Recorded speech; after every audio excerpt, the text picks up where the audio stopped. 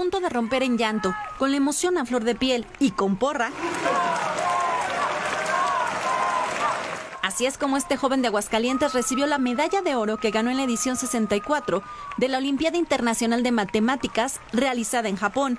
La medalla se la dedico a México y a mi familia. Obtener ese lugar no fue sencillo. Rogelio inició su participación en las Olimpiadas Mexicanas a los 11 años de edad y a nivel internacional ha conseguido varias medallas. Oro en la Olimpiada Iberoamericana, oro en la Olimpiada Matemática de Centroamérica y el Caribe, bronce en la Olimpiada Internacional de Matemáticas en el 2022 y ahora la máxima presea en el mismo certamen, al resolver en dos días cinco de los seis problemas expuestos.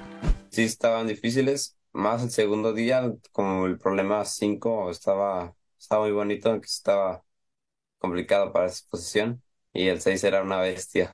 Además de las habilidades en álgebra, combinatoria, teoría de números y geometría, él y toda la selección mexicana participaron en un campamento previo a esta competencia en China y recibieron asesoría sobre diversas estrategias a la hora de responder los exámenes. Intenten todos los problemas. ¿Por qué? Porque si no intentas un problema es un cero garantizado. Entonces está, eh, por ejemplo, eso, ¿no? Que es, muy claro. Eh, también estrategias como sobre como cómo distribuir tu tiempo sobre el examen. Con ayuda de esas herramientas, el equipo mexicano también obtuvo tres medallas de plata, posición que fue para estudiantes de Guerrero, Sinaloa y Nuevo León, y el bronce para otros dos alumnos, uno de Nuevo León y el otro de la Ciudad de México, lo que posicionó a México en el lugar 14 entre 100 países. Recibimos muchas felicitaciones de otros países de Latinoamérica. Creo que fuimos el primer lugar. en particular a Brasil le ganamos por dos puntos.